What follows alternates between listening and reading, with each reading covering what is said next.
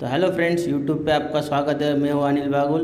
तो दोस्तों, आपको फोस्टर गाड़ी की इनर जो पीछे की बाजू से आपको कैसे फिट करने उसका वीडियो। है तो हेलो फ्रेंड्स यूट्यूब पे आपका स्वागत है। मैं हूँ अनिल बागुल। आज का वीडियो फोस्टर गाड़ी की इनर आउटर या फिर इनका इनर पीछे की साइड से कैसे फिटिंग करते हैं उसका वीडियो। तो चलो वीडियो को शुरू करते हैं। सबसे पहले आप ये ध्यान में रखिए, आपके पास फोस्ट्रो गाड़ी हो तो उसके लिए आपको क्या क्या प्रॉब्लम आती है और उसकी सेटिंग कैसे करनी है, उसके बारे में आज का पूरा वीडियो है। और वीडियो देखने से पहले मेरे चैनल का नाम है ऑटो रिक्शा ज्ञान चलो वीडियो को शुरू करते सबसे पहले आप देख सकते हैं, जब गाड़ी का प्रॉब्लम धीरे धीरे बढ़ता जाता है, एक साल, दो साल के बाद वो जो है गाड़ी का क्लच सबसे पहले क्लच पे जो प्रॉब्लम होता है। तो दोस्तों, पहले आप देख सकते हैं क्लच सेटिंग जो है क्लच टूटने वक्त क्या क्या करना है? तो एक एक वीडियो आप स्टेप पे, स्टेप बाय स्टेप ज़रूर देखना है और फॉलो भी करना है और चैनल को लाइक भी करना है। तो दोस्तों, फ़िलहाल आप समझ चुके आपके पास एक इनर वायर हो जो क्लच की, फोस्टर गाड़ी की देख सकते हैं और उसके बाद आपको एक साथ और भी चीज़ रखनी है साथ में,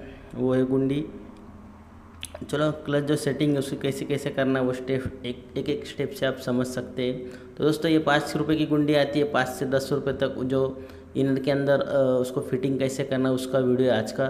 फोस्ट्रोक गाड़ी है दोस्तों। चलो वीडियो की शुरू करने से सबसे पहले पीछे चलते हैं। तो दोस्तों, आप ये ध्यान से देखना ज़रूरी है आपको, क्योंकि ये सेटिंग बहुत बार प्रॉब्लम देती है और बार बार होता है फोस्ट्रोक गाड़ी में।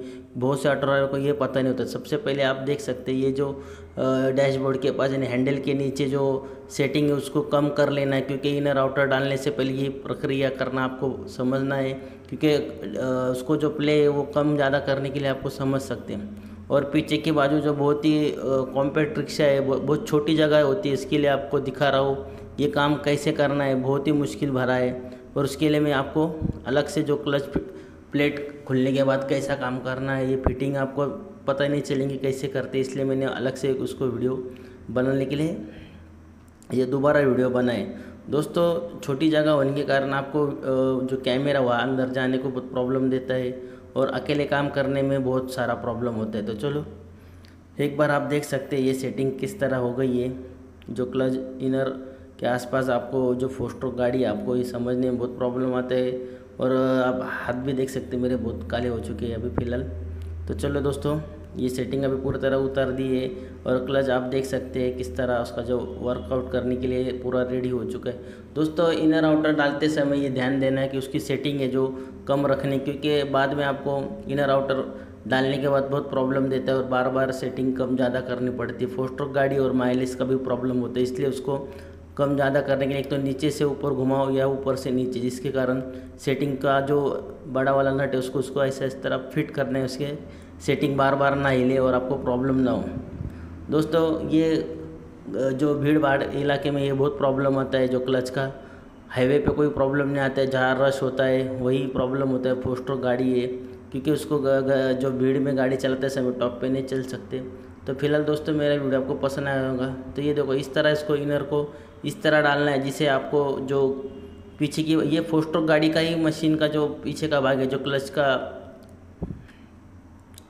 हिस्सा है तो फ़िलहाल आप देख सकते हैं इसको इस तरह से इनर को निकालना है। अभी एक हाथ से कैमरा है और एक हाथ से ये काम चल रहा है तो फ़िलहाल देख सकते कोई मुश्किल काम नहीं दोस्तों इनर आउटर डालना।